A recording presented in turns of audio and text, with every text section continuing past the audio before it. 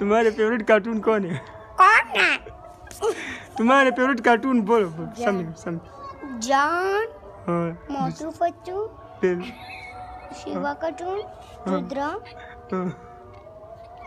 और? मुझे गुना के इतना ही है। बहुत सारे होते हैं गुना के इतना